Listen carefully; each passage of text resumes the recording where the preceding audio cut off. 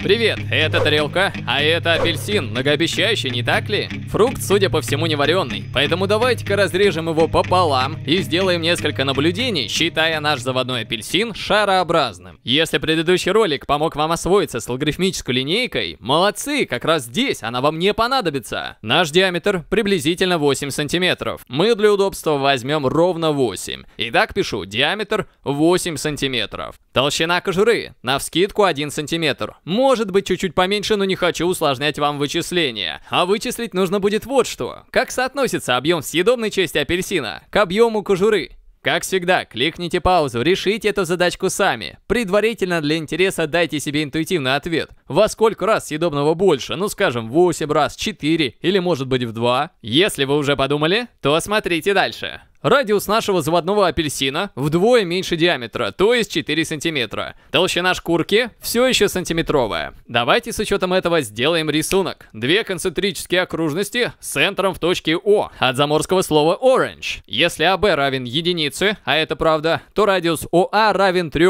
Наша цель – найти соотношение объема съедобной части апельсина к несъедобной его части. Мы будем считать шкурку апельсина несъедобной, если что. Воспользуемся известной формулой объема шара – Искомое соотношение можно было бы найти в одну строчку, но давайте все выпишем в явном виде. Вот скажем объем вкусной сочной части апельсина. Чему он равен? Ни много ни мало. 36 пи. Это, кстати, сантиметры кубические. Объем кожуры мы найдем как разность объемов всего апельсинчика и его съедобной части. Давайте-ка я запишу это все подробно, чтобы вы не подумали, что я мухлюю. А я, между прочим, совсем-таки не мухлюю. Я вам точный расчет показываю. Для удобства вынесем 4 трети пи за скобки и получим 49,1 треть пи сантиметров кубических. То есть, внимание, объем кожуры оказался больше объема съедобной части, при том существенно. Ну как так? Такое может быть? Все дело в том, что объем возрастает кубически. Формулу видите? Так что маленькая единичка, прибавленная к радиусу, играет очень даже большую роль.